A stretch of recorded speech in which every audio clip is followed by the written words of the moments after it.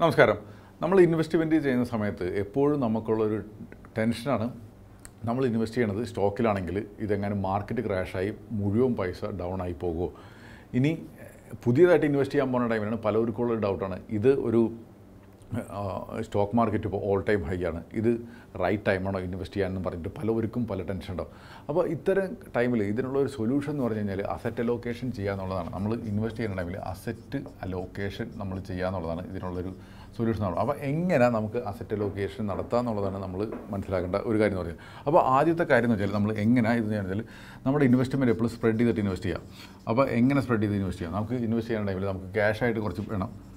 ഇനി F D ആയിട്ട് വേണം. ഇനി ബോണ്ട് അല്ലെങ്കിൽ ഡെറ്റായിട്ട് വേണം. ഇനി ഇക്വിറ്റി ആയിട്ട് വേണം. ഇനി ഗോൾഡായിട്ട് വേണം. കമ്മോഡിറ്റീസ് സിൽവർ സിൽവർ വേണം. ഇനി റിയൽ എസ്റ്റേറ്റ് ആയിട്ട് വേണം. ഇങ്ങനെ നമ്മൾ സ്പ്രെഡ് ചെയ്തിട്ട് ഇൻവെസ്റ്റ് ചെയ്യണമെന്നുണ്ടെങ്കിൽ നമുക്ക് ഒരെണ്ണം താഴെ പോകുന്നുള്ള ടെൻഷൻ നമുക്ക് കംപ്ലീറ്റ്ലി നമുക്ക് ഒഴിവാക്കാൻ പറ്റും. ഇത് എല്ലാവരും മൾട്ടിപ്പിൾ ആയിട്ടിരിക്കണം അതിന്റെ പേരിൽ. നമുക്കെപ്പോഴും നമുക്കൊരു വലിയ കുഴപ്പമില്ലാത്തൊരു സിറ്റുവേഷൻ ഉണ്ടാവും. ഇതോടൊപ്പം തന്നെ നമ്മൾ നോക്കേണ്ട കാര്യം വെച്ചാൽ എങ്ങനെ നമുക്കൊന്നും കൂടി നമ്മുടെ ഇൻവെസ്റ്റ്മെന്റുകൾ വ്യത്യസ്ത അസറ്റിലാണെന്നുള്ളൊരു കോമ്പിനേഷൻ നമുക്ക് ഇതിരിക്കണം. അപ്പോൾ നമ്മൾ നമുക്ക് ഈ ഇപ്പോൾ മ്യൂച്വൽ ഫണ്ടിലൊക്കെ ഇൻവെസ്റ്റ് ചെയ്യണമെന്നുണ്ടെങ്കിൽ നമുക്ക് ബാലൻസ്ഡ് ഫണ്ട് എന്നൊക്കെ പറഞ്ഞിട്ട് നമുക്ക് ഓപ്ഷൻ ഉണ്ട്. അതെന്താണ്? ഇക്വിറ്റിയും ഡെറ്റും കൂടി മിക്സ് ചെയ്തിട്ടുള്ള ഒരു ഹൈബ്രിഡ് ഫണ്ട് എന്ന് പറയും. ഇനി മൾട്ടി അസറ്റ് എന്ന് പറഞ്ഞിട്ടൊരു നമുക്കൊരു സാധനമുണ്ട്. എന്ന് വെച്ചാൽ ഇതിൽ നടക്കുന്ന കാര്യം വെച്ചാൽ ഇക്വിറ്റിയും ഗോൾഡും സിൽവറും ഡെറ്റും കൂടിയൊക്കെ ഒരുമിച്ച് മാനേജ് ചെയ്യണം. അപ്പോൾ ഇതിന് വേണ്ടിയിട്ട് നമുക്ക് ഒരു ഫണ്ട് മാനേജർ നമുക്ക് വേണ്ടിയിട്ട് മാനേജ് ചെയ്തോളൂ. അപ്പോൾ നമുക്ക് ഓരോടത്ത് ഇൻവെസ്റ്റ് ചെയ്തു എന്ന് പറഞ്ഞ ഒരു ടെൻഷൻ നമുക്കില്ല.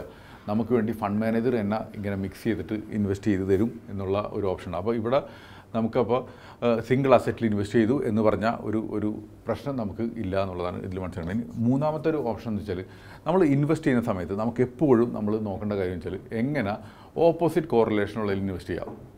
നമ്മൾ ഇൻവെസ്റ്റ് ചെയ്യുന്ന സമയത്ത് ഇപ്പോൾ എപ്പോഴും നമുക്ക് മനസ്സിലാക്കാൻ പറ്റും ഇപ്പോൾ മാർക്കറ്റ് നന്നായിരിക്കുന്ന ടൈമിൽ സ്റ്റോക്ക് മാർക്കറ്റിൽ ഉള്ള അസറ്റുകൾ ഇപ്പോൾ കമ്പനികളുടെ പ്രൈസുകൾ സ്റ്റോക്കിന്റെ പ്രൈസുകൾ ഇതൊക്കെ മുകളിലേക്ക് പോകും.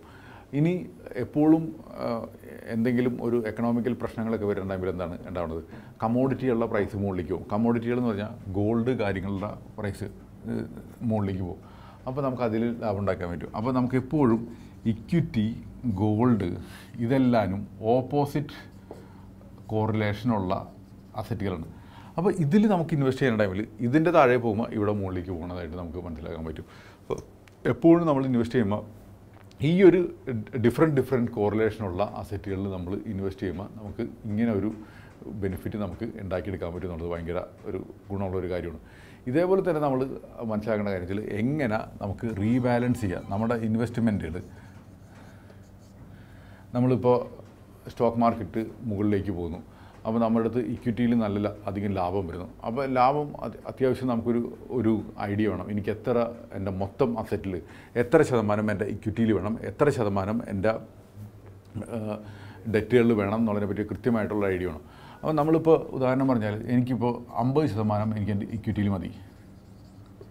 അമ്പത് ശതമാനം എനിക്ക് ഡെറ്റിൽ വേണം അല്ലെങ്കിൽ എഫ് ഡി പോലത്തേൽ വേണം എന്നാണ് തീരുമാനിച്ചിട്ടുണ്ടെങ്കിൽ ഇപ്പോൾ സ്റ്റോക്ക് മാർക്കറ്റ് നന്നായി പോണ ടൈമിലാണെന്നുണ്ടെങ്കിൽ ചിലപ്പോൾ എഴുപത്തഞ്ച് ശതമാനം നമ്മളിപ്പോൾ ഇൻവെസ്റ്റ് ചെയ്തേക്കണത് അമ്പത് ലക്ഷമാണ്. ഇവിടെയും അമ്പത് ലക്ഷം. സ്റ്റോക്ക് മാർക്കറ്റ് നന്നായിട്ട് പോകുന്ന ടൈമിലാണ് ഇത് ഏകദേശം എഴുപത്തഞ്ച് ലക്ഷം ആയിരിക്കും. ഇത് നമ്മുടെ ഒരു അമ്പത്തഞ്ച് ആയിട്ടുള്ളൂ. അപ്പോൾ ഇങ്ങനെ വരുമ്പോൾ ടൈമിൽ നമ്മുടെ പ്രൊപ്പോർഷൻ നമ്മൾ തെറ്റി. അപ്പോൾ ഇവിടെ കുറച്ച് നമുക്ക് ലാഭം ബുക്ക് ചെയ്യാൻ പറ്റുന്ന കാരണം നമുക്കിവിടെ അമ്പത് ഫിഫ്റ്റി ഫിഫ്റ്റി പെർസെന്റേജിലേക്ക് കൊണ്ടുവരണമെന്നുണ്ടെങ്കിൽ ഇവിടെ സെവന്റി ഫൈവ് പെർസെന്റേജ് എന്നുള്ളതിന് പകരം ഇവിടെ ട്വന്റി ഫൈവ് എന്നായിരിക്കും ഇപ്പോൾ ഡെറ്റിൽ ട്വന്റി ഫൈവ് ഉള്ളൂ. ഇക്വിറ്റിയിൽ സെവന്റി ഫൈവ് ആണെന്നുണ്ടെങ്കിൽ നമുക്ക് എന്തുകൊണ്ട് ഈ എക്സ്ട്രാ ട്വന്റി ഫൈവ് വന്നേക്കണം നമുക്ക് കുറച്ചിട്ട് ഇങ്ങോട്ട് നമുക്ക് ഇടണമെന്നുണ്ടെങ്കിൽ നമുക്ക് എന്ത് ചെയ്യാൻ പറ്റും? നമ്മുടെ ഇൻവെസ്റ്റ്മെന്റ് റീബാലൻസ് ചെയ്യാൻ പറ്റും.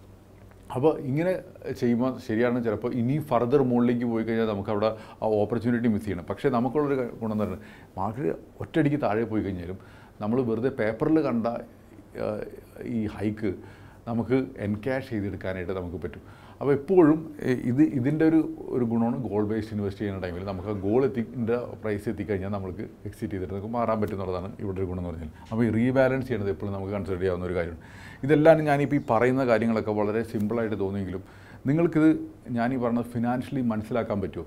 അങ്ങനെയാണെങ്കിൽ മാത്രമേ നിങ്ങൾക്ക് സ്വന്തമായിട്ട് ചെയ്യാൻ പറ്റുള്ളൂ. അല്ലാന്നുണ്ടെങ്കിൽ എപ്പോഴും നിങ്ങൾക്ക് ഒരു എക്സ്പേർട്ടിന്റെ ഹെൽപ്പോടെ ചെയ്യുന്നതായിരിക്കും ഇത്തരം കാര്യങ്ങൾ നല്ലത്. അപ്പോൾ നമ്മളൊരു ഏത് മ്യൂച്വൽ ഫണ്ട് ഇൻവെസ്റ്റ് ചെയ്യണം എന്നുള്ളത് ശരിക്കും പറഞ്ഞാൽ വളരെ ഈസി ആയിട്ടുള്ളൊരു ക്വസ്റ്റ്യനാണ്. പക്ഷേ കാലാകാലങ്ങളിൽ ഇത്തരം മാറ്റങ്ങൾ എങ്ങനെ വരുത്തണം എന്നുള്ളതാണ് നമ്മുടെ പോർട്ട്ഫോളിയോ ബിൽഡ് ചെയ്യുന്ന ടൈമിൽ ഇമ്പോർട്ടന്റ് ആയിട്ട് നോക്കേണ്ട കാര്യം. ഇനി നമ്മൾ എപ്പോഴും നോക്കേണ്ട കാര്യം നമ്മൾ ഡൈവേഴ്സിഫൈ ചെയ്തിട്ട് ഇൻവെസ്റ്റ് ചെയ്യണം. ഇതെല്ലാം ഡൈവേഴ്സിഫൈ ചെയ്തിട്ട് ഇൻവെസ്റ്റ് ചെയ്യണം. ക്യാഷിൽ എഫ് ഡിയിൽ ഡെറ്റിൽ ഇക്വിറ്റിയിൽ എല്ലാവരും നമ്മൾ പറഞ്ഞു. ഇത് നമ്മൾ ഒരിക്കലും ഓവർ ആവാനും പാടില്ല. ഓവർ ഡൈവേഴ്സിഫിക്കേഷൻ വരാനും പാടില്ല. അണ്ടർ ഡൈവേഴ്സിഫിക്കേഷൻ ആവാനും പാടില്ല. ഇപ്പോൾ ചില ആൾക്കാരെയൊക്കെ പോർട്ട്ഫോളിയോ ആണ് ടൈമിൽ ഇവർക്ക് ഒരു ലക്ഷം രൂപയുടെ ഇൻവെസ്റ്റ്മെന്റ് ഉണ്ടാവുള്ളൂ. പക്ഷേ ഇത് തന്നെ ഏകദേശം ഒരു ഇരുപത് ഡിഫറെന്റ് ഫണ്ട് ഉണ്ടാവും. ഇതിന്റെ ഒന്നും ആവശ്യമില്ല. നമുക്ക് വളരെ മിനിമൽ ഫണ്ട് നമുക്ക് എല്ലാവർക്കും കൃത്യമായിട്ട് മോണിറ്റർ ചെയ്യാൻ പറ്റുന്ന നമ്പർ ഓഫ് ഫണ്ട്സ് മാത്രം മതി. അല്ലാന്നുണ്ടെങ്കിൽ സ്റ്റോക്സ് മാത്രം മതി. ഇതിനേക്കാളും കൂടുതൽ കൈ വിട്ടിട്ട് നമുക്ക് ഒരിക്കലും ചെയ്യേണ്ട കാര്യമില്ല. അത് ഓവർ ഡൈവേഴ്സിഫിക്കേഷൻ ചില ആൾക്കാർ ഏതെങ്കിലും ഒരു സ്റ്റോക്കിൽ മാത്രം ഇൻവെസ്റ്റ് ചെയ്യും അല്ലാന്നുണ്ടെങ്കിൽ എഫ് ഡിയിൽ മാത്രം ഇൻവെസ്റ്റ് ചെയ്യും. അതാണ് അണ്ടർ ഡൈവേഴ്സിഫിക്കേഷൻ അങ്ങനെയും വേണ്ട.